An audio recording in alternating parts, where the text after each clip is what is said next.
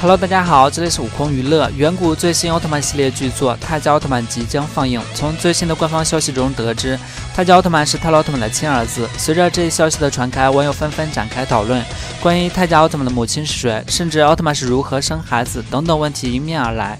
奥特曼在我们心目中地位是其他任何英雄都超越不了的。要说零差评的角色，那就非奥特曼莫属了。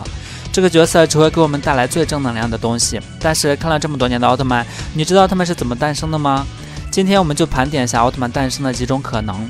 如果要问泰迦奥特曼是怎么诞生的，首先我们应该知道泰迦的父亲泰罗奥特曼是怎样诞生的。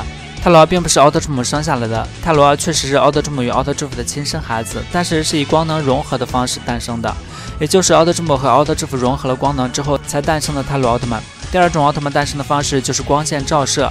众所周知，奥特曼起初并不是光之战士，而是一种和我们人类极为相似的动物。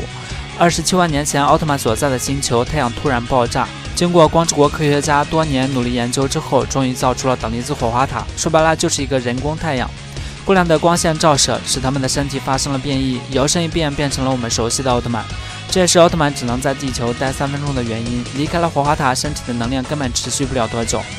第三种奥特曼诞生的方式就是克隆。克隆这个方式其实并不常见，不是奥特曼的普遍诞生方式。只有极少数的奥特曼是通过克隆培育出来的。比如说捷德奥特曼，他就是贝利亚奥特曼的基因培养出来的。所以捷德奥特曼没有母亲的谜底就揭晓了，他是一个克隆出来的奥特曼。第四种奥特曼诞生的方式，可能就是人类状态繁衍。众所周知，奥特曼都是有人间体的，所以奥特曼也能用人类的形态生孩子。变成人类的奥特曼就和普通人类一模一样，没有任何的不同。所以人类的一切规律都适用于人间体的奥特曼。但是目前好像并没有以人间体出生的奥特曼，迪迦的孩子可能是第一个。好啦，小伙伴们，今天的分享就到这里了。以上就是小编总结的四种关于奥特曼诞生的方式。大家对奥特曼诞生有什么看法吗？留言告诉我吧，同时别忘记点赞和关注我们哦，下期节目更精彩，拜拜。